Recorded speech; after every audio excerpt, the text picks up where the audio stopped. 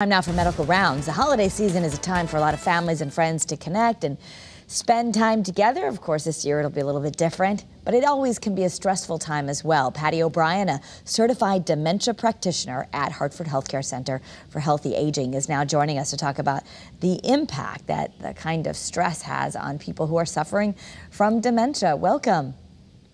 Thank you. Yeah, the holidays are certainly stressful for everyone. So, specifically, what impact is there for those who have dementia? So many of our folks who, who are living with dementia certainly have uh, periods of confusion, un, uh, unaware of what time of year it is, unaware of what needs to be done. And as they start looking around and watching their family members get stressed out about baking, wrapping, um, shopping, um, dementia it just adds to that stress. And the person with dementia still feels a lot of emotion. Mm. Um, so if we have a lot of emotion in the in the home because of the holidays, the person with dementia can become overwhelmed a great deal with it.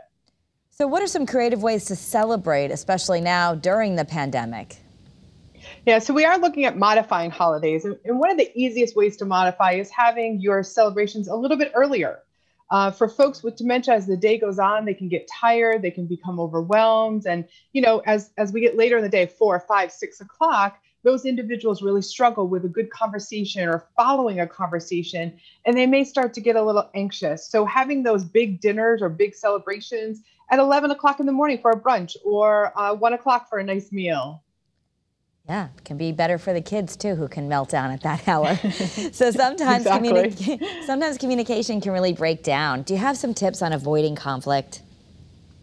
Yeah, so uh, you know, we tell our families all the time um, if you're going to visit someone with dementia, you really want to call beforehand and say, "Is this a good day? You know, when is a good time? When when is your loved one with dementia at their best?" And a lot of times that's between 10 and 3. Uh, before that, they need to get up during the day for the day and really get grounded. And as, as we said, later on the day, it just becomes really hard. The other thing is watch for nonverbal expression. You know, their facial expressions, their body language are going to tell you a lot how they're feeling. Mm. And we need to watch that. And you have an upcoming class. It's a virtual session for December 16th from 6 to 7 p.m. Tell us about that. Yeah, so next week, December 16th, 6 to 7, we're going to be talking more about tips on making the holidays a little more successful for our folks with dementia. Uh, and, you know, you can go to hartfordhealthcare.org slash virtual classes uh, and sign up and join us. Patty O'Brien, thank you so much for being with us and sharing some important information.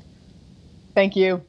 Once again, to learn more, you can visit hartfordhealthcare.org slash virtual classes or call 855 HHC here. That's all on your screen right now. The conversation also continues on Hartford Healthcare's Facebook page. At 12:30, Patty will be there to talk about tips and tricks to maximize the holidays with your loved ones. And you can ask your questions on the Facebook Live.